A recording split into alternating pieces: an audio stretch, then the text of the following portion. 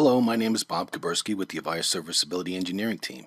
This video provides an overview of the features supported on the Avaya Flare Communicator and the Avaya Flare experience for Windows and iPad clients. It will also cover the configuration required on the Avaya Flare Experience client to enable conferencing.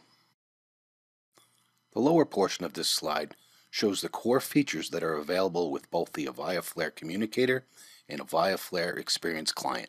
They are Aura and Outlook contacts, multi-session support, presence, IM, call history, and the new message waiting indicator. Also supported are point-to-point audio, the G711, 729, and 722 high-def audio codecs, enterprise search, and email generation.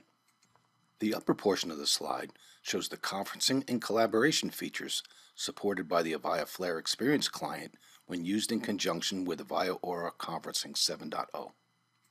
Those features are Meet Me and Ad Hoc Conferencing, Moderator Controls, Conference Roster and Participant Management, the ability to merge two calls into a conference, Web Collab, and Active Talker Notification. To configure the Flare Experience client for conferencing, select the gear icon on the top of the user interface. Then select the Conference Settings option. The Conference Settings window will open and you will need to enter the address for the Avaya conferencing server.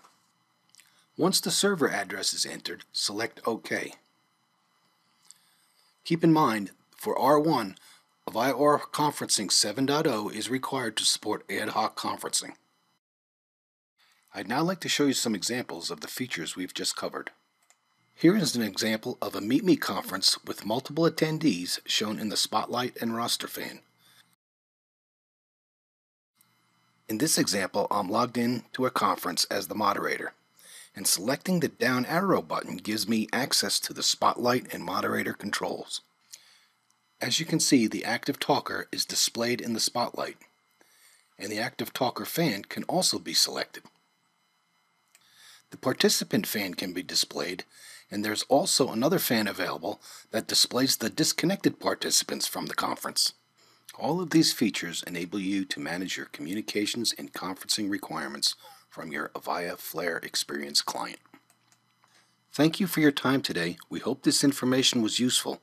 We welcome comments, questions, and feedback at mentor at avaya.com or on Twitter at Avaya Mentor. For more details or related information, please visit support.avaya.com. Thank you for choosing Avaya.